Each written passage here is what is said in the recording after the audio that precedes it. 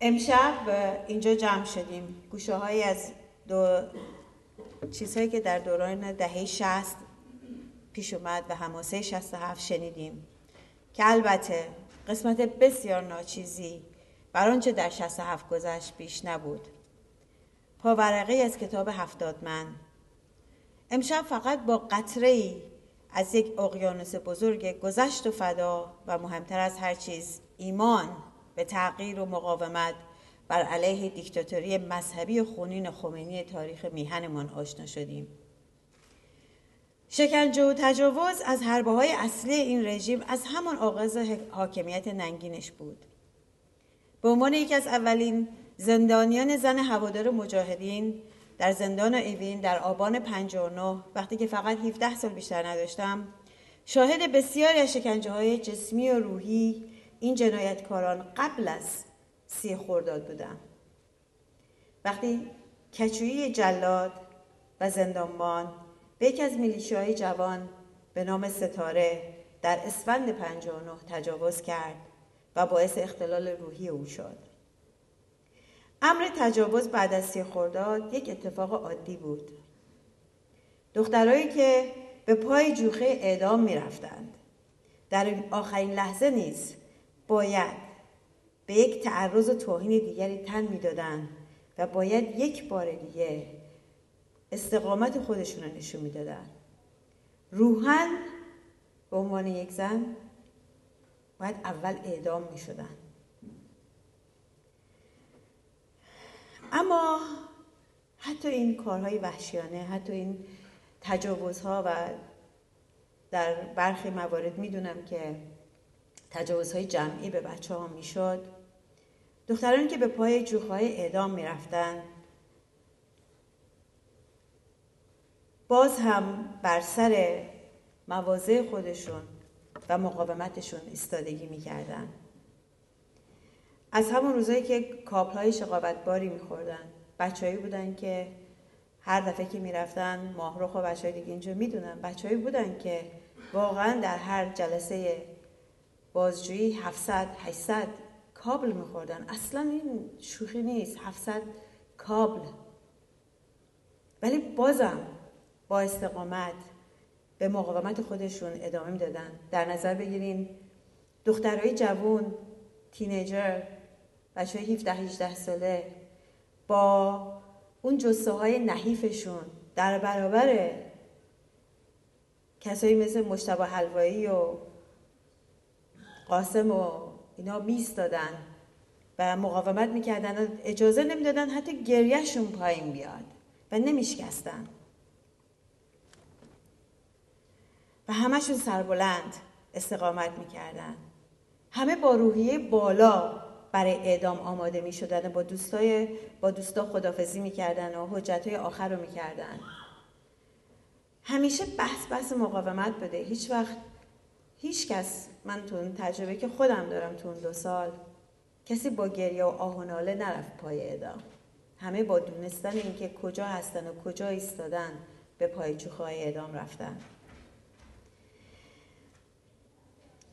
دیگه ماهی سیاه کوچولو تنها یکی نبود. همه بچه ها تبدیل ماهی های سیاه کوچولو کشورمون شدند که برخلاف جهت آب به جای ترس و گوشگیری با سربلندی و شجاعت با دستای خالی حتی بدون اون خنجر با لاشخارای رژیم پلید خمینی در افتاده بودند و با صلابت و ایستادگی خود خنجر به قلب سیاه دلا می زدن.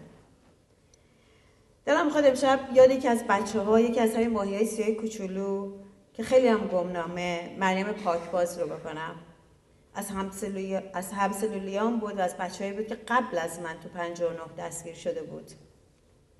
در اواسط مرداد ماه یک شب مریم از پلی ما برد. یک روز صبح اکچولی صداش کردن و بردنش برای بازجویی. واقعا بدن شرح شرحش رو بردن و انداختن توی سلول. اما مریم هیچ وقت نه کرد. نه حرفی زد. با سکوت خودش مقاومت کرد. با همون لبخند کوچیکی که می‌زد همیشه مقاومت کرد. و بالاخره مریم در سال 67 او هم فقط به خاطر جرم برادراش در حقیقت به تناب دار بوسه زد. این هماسه ها کم نیستن و بعد از گذشت 36 سال هنوزم ادامه داره. اونها که از قتل عام 67 جان سالم به در بردن بعد از گذشت 25 سال به عهد خود دوباره وفا کردند. سربداران و سلحشورانی چون جعفر کازمی، علی سارمی، محمد حاج آقا بابایی و آخرین آن غلامرضا خسروی. جملگی با وجود تمام فشارها و سختیها و علم به اینکه طعم زندگی رم چشیده بودن سالها بیرون از زندان زندگی کرده بودن و دورای خانواده و فرزند بودن اما حاضر نشدن که سر تعظیم در برابر دیکتاتوری آخوندی پایین بیارن و با سر بلند بر, تن بر تناب دار بوسه زدن. بحث یک مرام و مسلک نیست. بحث بر سر ایمان به آزادی و, ایراد و ایرانی بهتر. جدا از مذهب و بنیادگرایی و ارتجا بود که این عاشقان مام وطن مرگ را بر زندگی عام ترجیح دادند و همگی سربدار و در تاریخ ایران ابدی شدند. دیگر افتخار ما تنها یک بابک خرمدین نیست سراسر میهن ما. مثل سراسر میهن ما پر از بابک خرمدین ها شده. اگر زمانی مقاومت در حنیف نژاد و بدیزادگان و جزنی و احمدزاده و مهدی رضایی خلاصی می‌شد حالا در مریم پاکباز سیمین حجب همیرا اشراق شکر محمدی علی سارمی جعفر کازمی و غلام رضا تکثیر شده. اما تموم نشده. وقتی فرزاد کمانگرم یک معلم در برابر دیکتاتورا میسته و نمیگه و به تناب دار بوسه می‌زنه حکایت از داستان یک مقاومت مقاومت مملکت ما ایران و مقاومت یک شکل دیگه گرفته. ما هنوزم نمی‌تونیم. از کل حماسه های آفریده شده در میهن عزیزمون تصور درستی داشته باشیم. تا زمانی که این رژیم ارتجایی و ضد بشر بر میهن ما تسلط داره. فقط در یک ایران آزاد و بعد از پژوهش های بسیار روزی خواهیم تونست که این هماسه های خونین رو به درستی ثبت کنیم. اما این جنایتکاران حاکم کمر به قتل و کشتار هر که از هر رنگ و بویی که در برابرشون ایستادگی کند رو دارد. همین پنجشنبه محسن امیر اصلانی یک نویسنده روانشناس و یک دگراندیش بعد از نه سال اسارت در زندانهای گوناگون به دستور خود قاضی سلواتی به خاطر داشتن نظری متفاوت به قرآن که می شود نماز رو هم به فارسی خوند و یا با لباس سفید نماز خواندن خوب است. مفسد الارض اعلام شد و اعدام شد. بیشک محسن آخرین نیست که اعدام شد. در همین لحظات صدها زندانی دیگر در انتظار اعدام هستند. اما برای اتمام کامل اعدام هیچ راهی نیست مگر سرنگونی این رژیم و این عملی نیست مگر اینکه تک تک ما وارد میدان مبارزه بر علیه این رژیم شویم و به هر شکل و امکان در برابر ملایان بیستیم و مماشدگران را افشا کنیم.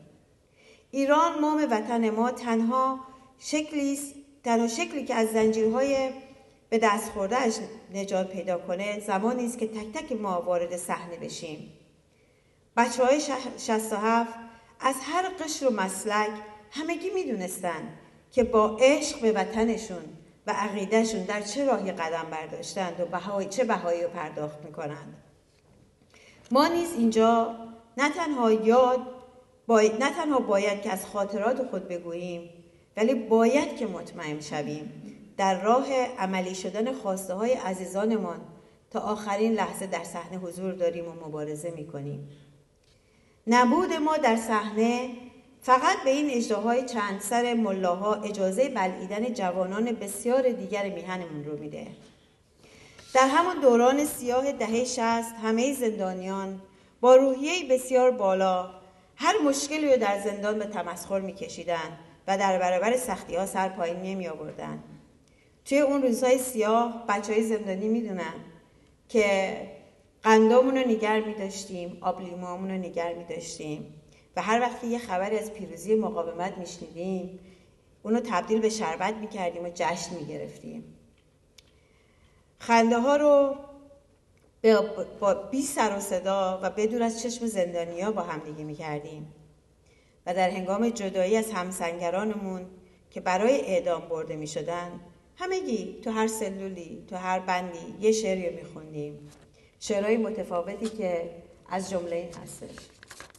و هممون می‌تونیم الان با هم اینو